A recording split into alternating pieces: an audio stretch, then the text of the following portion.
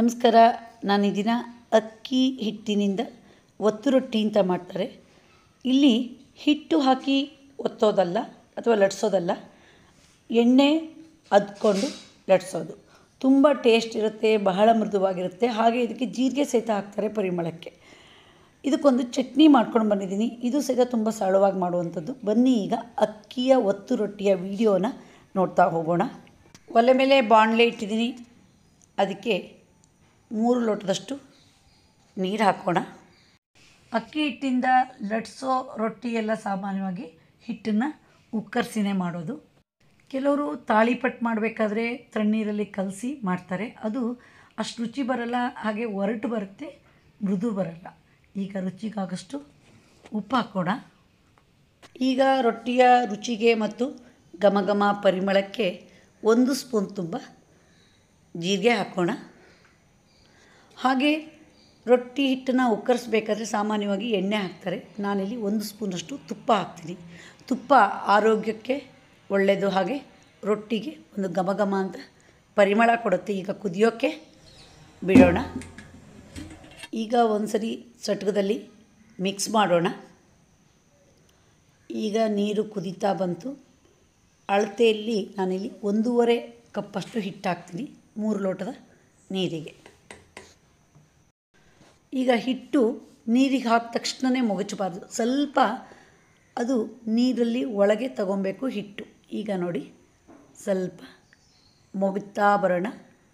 ಹಿಟ್ಟು ಪೂರ್ತಿ ಬೆಂದ ಹಾಗೆ ಆಗಬೇಕು. ಆವಾಗಲೇ ರೊಟ್ಟಿ ತುಂಬ ಮೃದು ಬರೋದು ಮತ್ತು ರುಚಿ ಬರೋದು.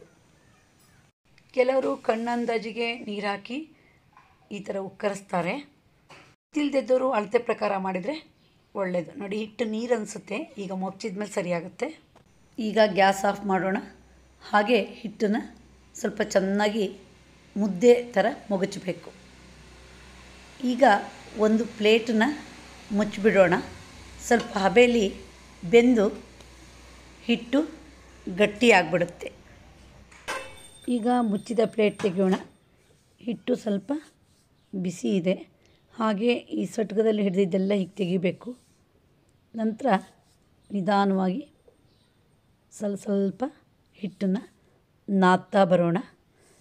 ಈ ರೊಟ್ಟಿ ಹಿಟ್ಟು ರೆಡಿ ಆದಮೇಲೆ ಇದಕ್ಕೆ ಮೇಲಿಂದ ಮತ್ತೆ ಹಸಿ ಹಿಟ್ಟು ಹಾಕಿದರೆ ಅಷ್ಟು ಚೆನ್ನಾಗಿ ಬರಲ್ಲ ಒತ್ತಿದಾಗ ಒಡೆದು ಬಿಡುತ್ತೆ ಹಾಗೆ ಸ್ವಲ್ಪ ಕೈಗೆ ಬಿಸಿ ಅನಿಸಿದರೆ ಎಣ್ಣೆ ಚೂರು ಮುಟ್ಕೊಂಡು ಹಿಟ್ಟನ್ನು ನಾದ್ತಾ ಬಂದರೆ ಸರಿ.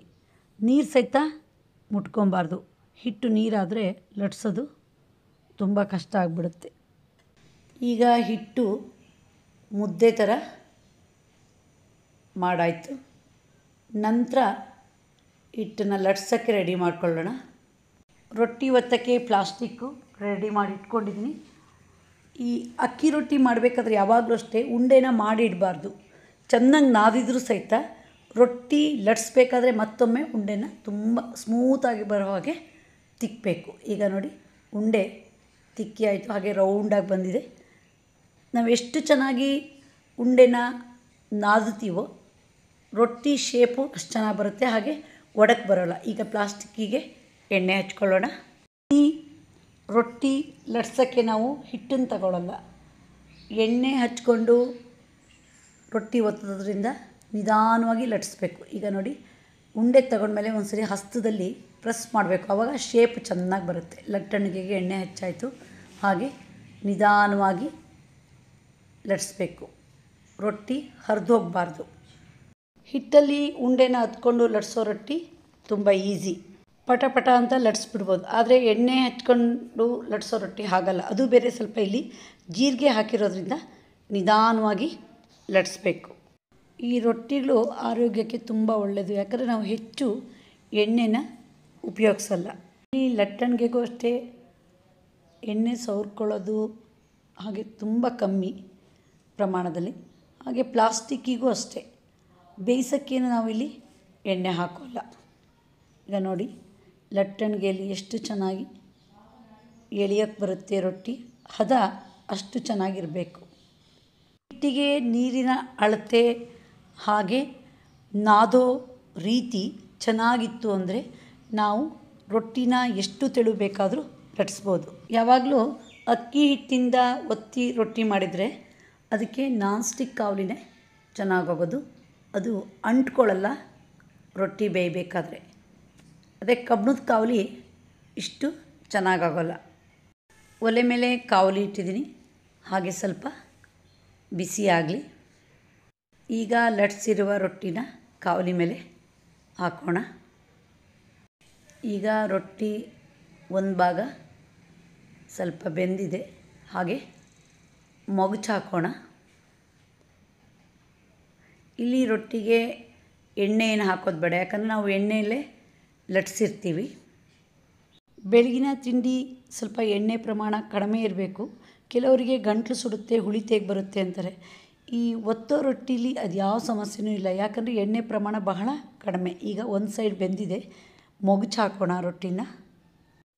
ಈಗ ರೊಟ್ಟಿ ನೋಡಿ, ರೆಡಿ ಇದೆ. ಎಷ್ಟು ಮೃದು ಬಂದಿದೆ ಅಂತ. ಹಾಗೆ ಈ ರೊಟ್ಟಿ ತಿಂದಾಗ ಜೀರಿಗೆದೆ ಪರಿಮಳ. ಈಗ ಇದಕ್ಕೊಂದು ರುಚಿಯಾದ ಚಟ್ನಿ ಮಾಡೋಣ.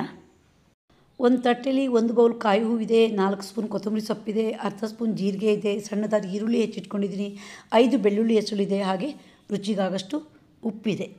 ಮಿಕ್ಸಿ ಜಾರ್ ತಗೊಂಡಿದ್ದೀನಿ. ಈಗ ತಳದಲ್ಲಿ ಕೊತ್ತಂಬರಿ ಸೊಪ್ಪು, ಈರುಳ್ಳಿ, ಬೆಳ್ಳುಳ್ಳಿ, ಜೀರಿಗೆ, ಉಪ್ಪನ್ನು ಹಾಕಿಬಿಡೋಣ.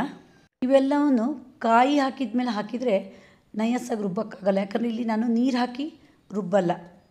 ಖಾರಕ್ಕೆ ಹಸಿಮೆಣಸು ಹಾಕ್ಬೋದು. ನಾನಿಲ್ಲಿ ಸೂಜಿ ಮೆಣಸನ್ನ ಪೇಸ್ಟ್ ಮಾಡಿ ಇಟ್ಕೊಂಡಿದ್ದೀನಿ ಅದ ಸೂಜಿ ಮೆಣಸನ್ನ ತಂದು ಪೇಸ್ಟ್ ಮಾಡಿ ಅದಕ್ಕೆ ಅರ್ಧ ಸ್ಪೂನು ಲಿಂಬೆ ರಸ, ಹಾಗೆ ಅರ್ಧ ಸ್ಪೂನು ಗೋಲ್ಡ್ ವಿನ್ನರ್ ಹಾಕಿದರೆ ಫ್ರಿಜ್ಜಲ್ಲಿಟ್ಟು ಒಂದು ತಿಂಗಳವರೆಗೂ ಉಪಯೋಗಿಸ್ಬೋದು. ಬಹಳ ರುಚಿಯಾಗಿರುತ್ತೆ. ಹಸಿಮೆಣಸಿಗಿಂತ ಈ ಮೆಣಸು ಒಳ್ಳೆಯದು, ಗ್ಯಾಸ್ಟ್ರಿಕ್ ಬರೋಲ್ಲ. ಈಗ ಖಾರಕ್ಕೆ ತಕ್ಕವಾಗಿ ಹಾಕೋಣ. ಹಾಗೆ ಕಾಯಿ ಹೂವನ್ನು ಹಾಕಿ ಒಂದು ಸರಿ ಮಿಕ್ಸಿಲಿ ಪುಡಿ ಮಾಡಿಬಿಡೋಣ ಚಟ್ನಿ ರೆಡಿಯಾಗಿದೆ. ಈಗ ಒಂದು ಬಾಕ್ಸಿಗೆ ತೆರಪು ಮಾಡೋಣ. ಎಷ್ಟು ಹಸಿರು ಬಣ್ಣ ಬಂದಿದೆ ನೋಡಿ. ಈ ಚಟ್ನಿಗೆ ಹುಣಸೆಹಣ್ಣಿನ ರಸ ಮಿಕ್ಸ್ ಮಾಡಿಲ್ಲ. ಆದರೂ ಸ್ಪೆಷಲ್ ಟೇಸ್ಟ್ ಇದೆ. ಈ ಚಟ್ನಿಗೆ ದೋಸೆ, ರೊಟ್ಟಿ, ಚಪಾತಿ, ಇಡ್ಲಿ, ಅನ್ನ ಕಲ್ಸ್ಕೊಳ್ಳೋಕೆ ಸಹಿತ ತುಂಬ ಚೆನ್ನಾಗಿ ಬರುತ್ತೆ. ಹಾಗೆ ರೊಟ್ಟಿಗೆ ನಂಚ್ಕೊಬೇಕಾದ್ರೆ ಕೊಬ್ಬರಿ ಎಣ್ಣೆ ಅಥವಾ ಮೊಸರು ಸಹಿತ ಮಿಕ್ಸ್ ಮಾಡ್ಬೋದು. ಈಗ ರೊಟ್ಟಿ ರೆಡಿ ಇದೆ. ಅದಕ್ಕೆ ನಂಚ್ಕೊಳ್ಳೋಕ್ಕೆ ಚಟ್ನಿನ ಹಾಕೋಣ. ಹಾಗೆ ಈ ಥರ ರೊಟ್ಟಿ ಮತ್ತು ಚಟ್ನಿನ ಕೆಲವು ಮಠಗಳಲ್ಲಿ ಮಾಡ್ತಾರೆ. ನೋಡಿದ್ರಲ್ಲ ಸಿಂಪಲ್ಲಾಗಿ ಅಕ್ಕಿಯ ಒತ್ತು ರೊಟ್ಟಿ ಮಾಡೋದು ಹೇಗೆ ಅಂತ. ಹಾಗೆ ಈ ಚಟ್ನಿನೂ ಸಹಿತ ಒಳ್ಳೆ ಕಾಂಬಿನೇಷನು. ನೀವು ಒಮ್ಮೆ ಟ್ರೈ ಮಾಡಿ ರುಚಿಯನ್ನು ಸವಿಯಿರಿ. ನಿಮಗೆ ಈ ವಿಡಿಯೋ ಇಷ್ಟ ಆದರೆ ಲೈಕ್ ಮಾಡಿ, ಶೇರ್ ಮಾಡಿ, ಸಬ್ಸ್ಕ್ರೈಬ್ ಮಾಡಿ. ಧನ್ಯವಾದಗಳು.